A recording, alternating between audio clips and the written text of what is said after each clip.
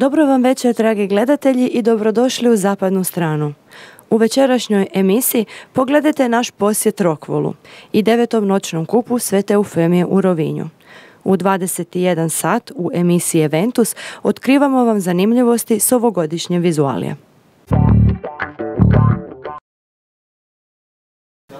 U tvornici kamene vune Rockwool u Potpičnu održani su Rockwool Days. Dani Rockwola ove su godine okupili više od 60 poslovnih partnera iz Hrvatske, Slovenije, Bosne i Hercegovine, Srbije i Sjeverne Makedonije. Među uzvanicima bili su partneri s kojima Rockwool više godina uspješno surađuje, a koji ili kupuju njihove proizvode ili su njihovi dobavljači roba i usluga, predstavnici lokalne i nacionalne vlasti, akademske zajednice te predstavnici sindikata i medija. Glavno područje poslovanja tvrtke Rokol Adriatic je protupožarna toplinska i zvučna izolacija za zgrade i industrijske pogone. Svake godine se trudimo unaprijediti svoje poslovanje uvodeći promjene. Prošle smo godine na danima Rockwola predstavili četiri nova proizvoda koja smo lansirali na tržište. Prije dvije godine govorili smo o zvučnim izolacijama. Ove smo godine Rockwall Day iskoristili kako bi poslovnim partnerima pokazali da konstantno razvijamo, ulažemo u proizvodnju. Ne bili odgovorili na potrebe tržišta i bili što konkurentniji.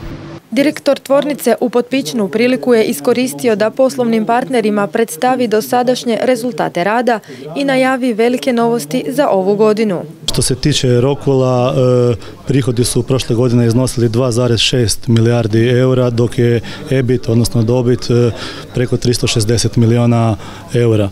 E, trenutno širimo proizvodnju. Evo najsvježija vijest je da smo prije tjedan dana krenuli sa našom novom tvornicom u Rumunjskoj koja će biti isporećivati vunu znači na područje Rumunjske, Bugarske, Turske i nešto Moldavije. Pored tvornice u Rumunjskoj u Rockwool tvornici u Potpičnu otvorena je nova linija proizvodnje offline, na čijoj je realizaciji sudjelovalo više od 40 stručnjaka.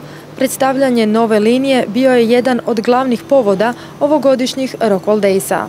Znači linija je duga 42 metra, e, investicija je vrijedna preko 2,2 milijuna eura.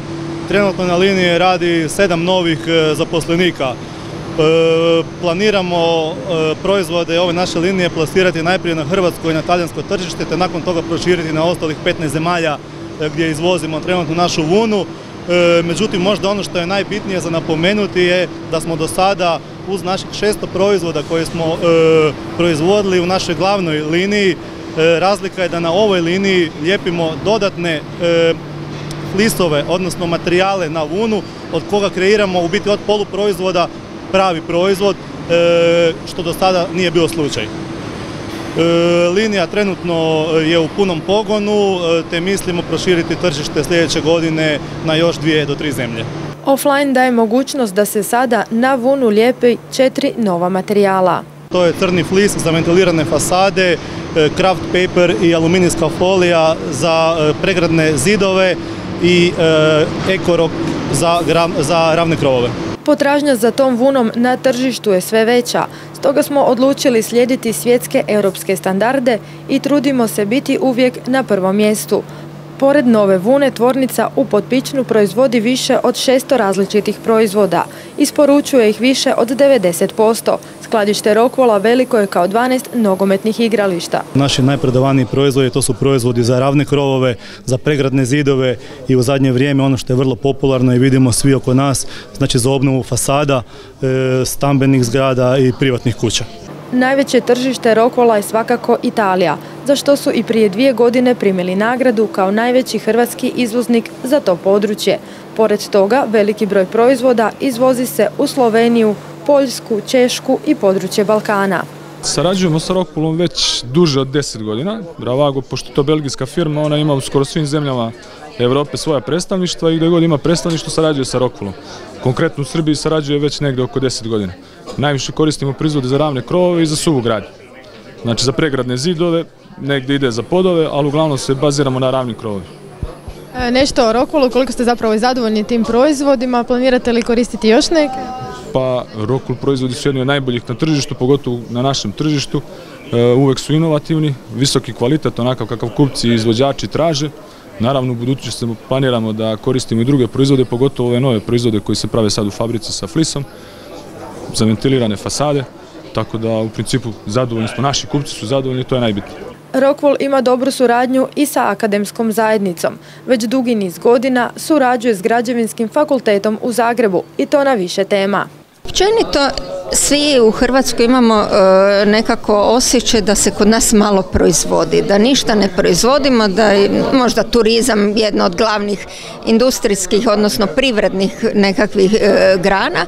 Zato je vrlo važno da imamo što jaču industriju jer to zapravo stvara nekakvu dodanu vrijednost. I sigurno da e, takva proizvodnja, proizvođačka industrija kao što je u ovom slučaju Rockwool doprinosi poboljšanju i zajednice, ljudi imaju posao, suradnja, razvijaju se. E, evo sad putem do ovdje smo pričali kako bi bilo dobro sagraditi novu prometnicu. Sigurno ta prometnica ne bi e, koristila samo Rokvolu, koristit će i ostalim, ostalim stanovnicima ovog područja. Tako da bitno je da imamo industriju jer će sve ići napred. Stipendiranjem studenata poslije diplomskog studija zaštite požarnog inženjerstva Rokul pomaže da se razvija i nova istraživačka grana u Hrvatskoj. Zahvaljujem ovom prilikom što prepoznaju darovite studente tog poslijediplomskog studija sa stipendiranjem, njihovim stipendiranjem kako bi zapravo na taj način doprinose da se razvijaju tako jedna relativno nova istraživačka grana u Hrvatskoj i da se razvijaju stručnjaci i da e, bude više stručnjaka u Hrvatskoj koji se time bavi. Vidi se iz e, vijesti koji svaki dan se mogu pročitati u različitim medijima da se požari sve češće događaju i da su e, štete od požara sve veće. Naravno, što ćemo mi imati više obrazovanih ljudi u tom segmentu da će se moći reagirati, moći će se te štete smanjiti, osim toga e, djelovati preventivno da uopće ne dođe do požara. E, Rockwool kroz e, jednu europsku organizaciju Fire Safe Europe sigurno tome doprinosi i na neki način u suradnji sa, sa nama i sa stipendiranjem studenata na tom studiju sigurno ima pozitivan doprinos u proširivanju znanja i edukaciji o zaštiti od požara. Građevinski fakultet u Zagrebu redovito radi istraživanja novih materijala koji su potrebni u građevinskom sektoru. Vjerujemo e, e, svojih europskoj, odnosno i hrvatskoj regulativi da su postavljeni svi tehnički parametri koji su potrebni da takvi proizvodi budu sigurni za upotrebu i za zdravlje ljudi, pa tako vjerujemo da Rockwool to sve kontrolira i da sve zapravo cijeli način certificiranja proizvoda da može doći na tržište je postavljen tako da ne može se desiti greška i ne može se desiti da izađe neki proizvod koji nije siguran. Osim toga, naravno kad govorimo o vrstama proizvoda. Proizvod koji je napravljen od prirodnog materijala, mineralnog porijekla, e, da je sigurno e, prijateljski e, bliži čovjeku nego neki od umjetnog materijala, od rekli bi organskog porijekla. Tvornica Rockwell u Potpićnu počela se graditi 2006. godine i bila je tada najveće Greenfield ulaganje u proizvodni pogon ostvareno u Hrvatskoj. Početak probne proizvodnje bilo je 2008. godine. Danas je investicija vrijednija od 110 milijuna eura. U tvornici ima 170 zaposlenih, u čije se edukacije ulaže više od 375 tisuća kuna godišnje. Svake se godine traže novi djelatnici i poveća je broj zaposlenih. Trenutno smo uzeli sedam novih zaposlenika samo za prvu smjenu, međutim e, ukoliko tržište to bude pitalo, naravno uzet ćemo još dvije, tri smjene koliko treba, te mislimo zaposliti još dvadesetak ljudi. U Rokvolu veliku pažnju posvećuju održivosti. Kamenu vunu od koje se sastoje svi proizvodi moguće je 100% reciklirati. Sva vuna koja ne zadovoljava naše najstrožije standarde što se tiče kvalitete ponovno se melje i, e, i reciklira i od toga se radi e, nova vuna. Rokvol koristi sedam snaga kamena kako bi se suočili s najvećim globalnim izazovima. Koristeći kamen kao najbogatiji prirodni resurs, u Rokvolu pomažu svladati kompleksne izazove današnjice i obogatiti moderan život. Izolacijska rješenja temeljena su na inovativnim tehnološkim procesima koji štite ljude od hladnoće, vrućine, opasnosti od požara i buke, poboljšavaju kvalitetu života ljudi i pomažu ublažiti ekološke izazove kao što su efekt staklenika, smog i kisele kiše. Stoga je Rokvol jedan od najvećih proizvođača izolacijskih materijala na svijetu.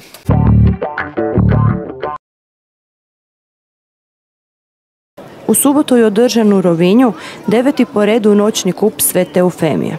Riječ je o eventu kojeg smatraju atraktivni i vozači, ali i veliki broj posjetitelja.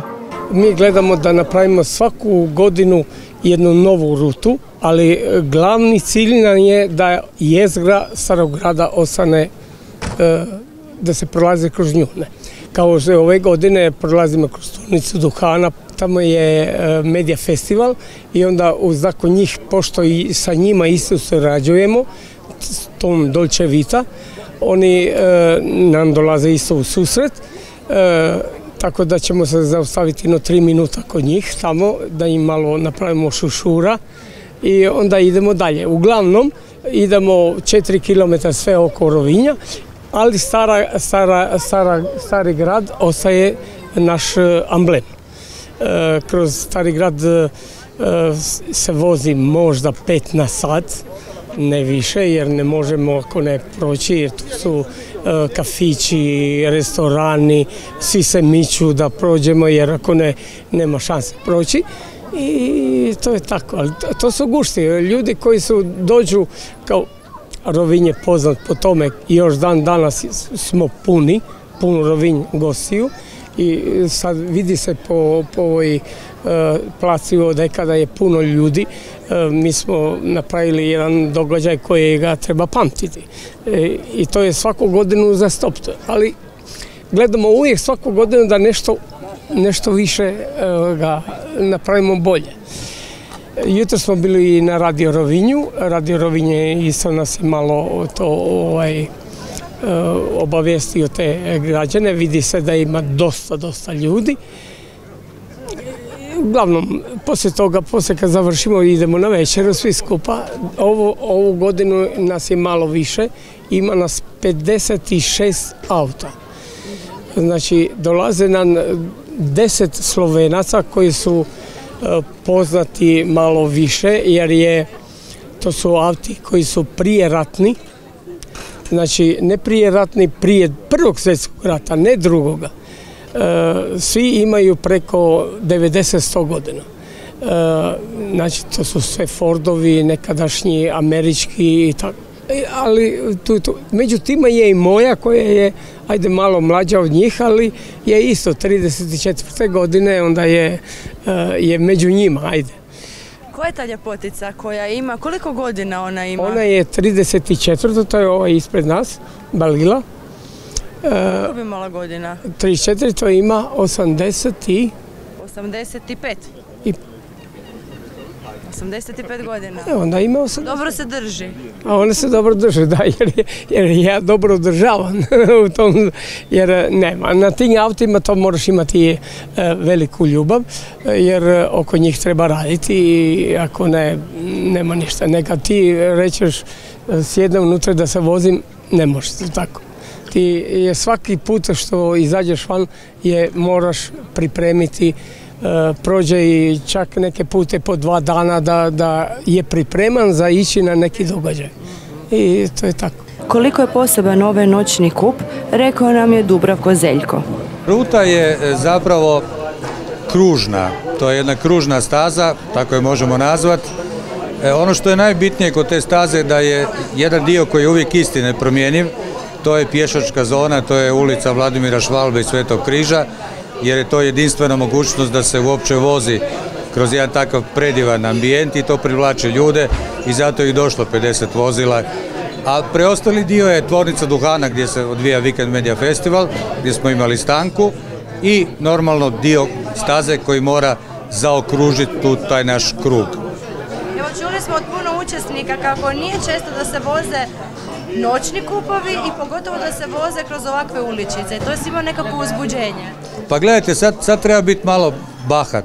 Nitko to u Hrvatskoj ne radi i nitko ne vozi u pješačkoj zoni. Ovo je mala kopija čuvene trke 24 sata Lemana koja je počela 1926. godine kad su oni zaista kroz to malo mjesto, danas to mjesto ima oko 100.000 stanovnika, vozili noćnu, odnosno 24 sata utrku kroz gradske ulice. To je otprilike ta priča, naravno kod nas je to 10 km na sat, ali taj šarm starog grada i uopće te, te, te cijele priče toliki da mi evo jednostavno pucamo po šavovima i morat ćemo ih ili više organizirati jer ovih 50 auta vidjeli ste danas su napravili jedan slatki kaos, ali normalno da smo mi toliko iskusni u organizaciji da nas ništa ne može iznenaditi. Učesnici su različitih država? Da, Talijani, Njemci, domaće posade, Slovenci.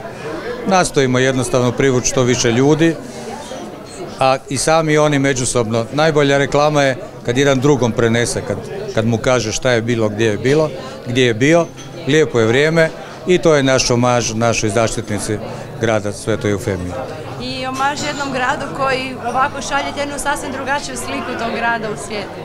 Pa ja moram reći da je, da je ovaj grad e, na sreću nas e, malo nadišao razinu turističke ponude u Hrvatskoj. Nije uzalud drugi najposjećeniji grad u Hrvatskoj. Dakle, i kapaciteti, i nautički turizam, i sve druge usluge, brojni festivali, brojni eventi su na takvoj razini koju drugi tek moraju doseći. U tom smo se smislu i mi uklopili, jer i mi moramo raditi nešto što je priča samo za sebe, a vidjeli ste na koncu šta smo napravili i znate da to nitko drugi ne radi. Natjecatelji su stazu morali prijeći u 25 minuta i 30 sekundi pobjednička posada, supružnici Fero iz Udina, u vozilu Alfa Romeo GT 1750 odstupila je od zadanog vremena svega 900 tinki sekunde. È stata una gara abbastanza complicata. In questi vicoletti con tutta sta gente che passava è stata una gara particolare, molto bella e boh, mi sono anche divertito. È la prima volta a Rovigno? Sì, la prima volta che vengo a Rovigno. Come le piace? Sì, senz'altro, molto bello. Domani vedrò anche di giorno perché stasera sono stato solo di notte. Mi sembra ho fatto delle altre gare, ho fatto altre gare, però sempre di giorno, ma altri tipi di gare, non tipo questa. E notturne sono divertenti? Sì, perché questa passi, eh, passi attraverso i vicoli, hai il contatto con la gente, molto, molto particolare. Najmlađi učesnik devetog noćnog kupa Svete Eufemije ima 8 godina i zove se Valentino Barbieri. Kako to da si se odlučio doći ovdje? Pa, moj, moj dida, uh, moj nono vozi je pre, prezident, ja sam htio isto sudjelovat kao i moj tata, jer moj tata nije mogu s nikim drugim, jer su sve, svi bili paru, pa onda moj tata je pitao da i mogu. Znači ti si odlučio biti pomoć tvom tati danas? Da. A šta ćeš ti raditi? Ja sam u auto sa druge strane i štopam tati e, vrijeme, tako da, mo, tako da mogu, tako da da budete što bliže onom zadanom. Da, jer tata ne može s jednom rukom sve napraviti. Da li ti voliš stare aute? Mm, da, volim. Su zabavni ili samo je dio tradicije, obitelji pa zato si u tome? Pa ne, tradicija obitelji da. Sviđa mi se kao, kao ja i tata već probamo pobijediti nekoliko dvije godine sam počeo prije, prije dvije godine i sad smo probali pobijediti. Jedan, Ste uspjeli nekada? Pa skoro smo jedan, došli smo drugo mjesto jedan put, krećemo ponekad više prvi, prvo mjesto. Uh, ima neko auto koje tebi najljepše? Pa, moj nono znači ima Ferrari kući, a meni je najljepši ovaj jer mi se vozimo ovaj. Vlasnik najstarijeg automobila je Miklauš Kržišnik iz Slovenije. Auto je znamke Ford T Henry Ford ga je pravio od 7. do 27. godine. On ima 2900 kubika, ali samo 20 konja. Tako da je slab uz brdo. interesantan je zbog toga što nema napred kočnica, ako ste primetili, i poluautomatski menjač, već u ono vreme. Poluautomatski, što znači ima tri pedalke, jedna u sredini, pritisneš lijevo, ideš dalje, popustiš lijevo, pritisneš srednju, ideš rikverc. To je interesantno kod ovih automobila. Kako ste vi došli do njega? Kako je postao dio vašeg života? Auto je došao, auto je došao iz Amerike. moj nečak inače uvažava te aute, pa smo jednom rekli zašto ne bi za sebe napravili nešto. Onda smo uzeli ovaj, pošto nam je činilo nam se da je interesantan i i dve godine sam ga pravio tako. Dosta posla sam uložio, bio skroz slab. Budete li uvijek glavna atrakcija kad dođete negdje? Pa, pa je nekako zato što je toliko star. Inače, sam auto tih su napravili 15 milijuna. Prvi auto iz tekuće trake i inače nije baš, to je bio auto za reveže, za sirotinju. Od 800 i nešto dolara u početku, cena mu je pala na 290 dolara. Krajem njegovog vijeka kad su ga izrađivali. A danas koliko bi vrijedio? Moram vas razočarati, nije baš neka vrednost. to je recimo između 15 i 20 hiljada eh, eura. Dobro, nije ni malo, ajde. Od one bazne cijene na raso. tako, tako. Ovaj, je li to velika ljubav? Je, to je samo zbog ljubavi to radimo. Inače, ne bi se postupili. Ima puno posla. Sati koliko hoćeš, tako da ne znam da bi da bi se nekako pomogao samo s tim da, da, da se proživljavam. Još jedno auto koje je pljenilo pozornost na Rovinjskoj rivi pripada simpatičnom Vladimiru Čehu iz Slovenije. Gledate, to je e, od Forda A motor iz 29. godine. Za ono vreme je bio vrlo napredan. Kao vidite ima već grijanje, to znači šta su stavili, stavili su ono gore na kolektor i preko kolektora je išla toplota unutra u kabinu i za ono vremena to je bilo nešto neverovatno, stvarno dobro. Auto iz koje godine? Ovaj auto je iz 1929. Ja imam kod kuće više ovakvih automobila i isto to je moj hobi, to znači da ih popravljam, da ih mazim, negujem i sve ono što ide sa automobilima. Posebnost ovog auta je svakako koja je bila vlasnica tog auta? Posebnica ovog kola, ja sam ovog kola kupio, bio sam već ovdje sa drugim kolama, isti, ista kao ova, ali ova kola sam kupio prošle godine, vrlo rđavog na, u Londonu na dražbi. Vlasnica je bila Geraldine Chaplin 65. godine. E, I i onda sam ga, zbog toga sam ga i uzeo i cijena je bila vrlo dobra. Onda smo ga doveli u Sloveniju i tamo restaurirali. Mm, koliko je trajala restauracija? Koliko ste truda Vrlo brzo smo radili na njemu, šest mjeseci. A koliko je truda na tome, koliko šta ste se morali napraviti? Da, da kažem puno sati, ponekad za jedna kola potrošimo 2000 ili više sati za jedna kola.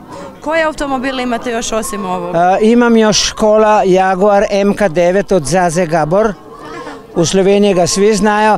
Onda imam više Fordova, više Fordova kao ovi ovdje, imam cijelu kolekciju, imam i mali kamiončić, imam i Charoleje, Pontiake, Oldsmobile, Hudson, mislim imam puno starih kola. Imam, imam više, više auta, gledate, ja sam predsjednik Auto Antike Slovenije i, i svi dolazi kod mene, Vlado daj popravi to, popravi to, ali ja uvijek nešto popravim, a imam dobar razlog pošto imam toliko kola da trebam prvo popraviti svoje. Da nije ono kao Schneider, znate, uvijek je pocepan.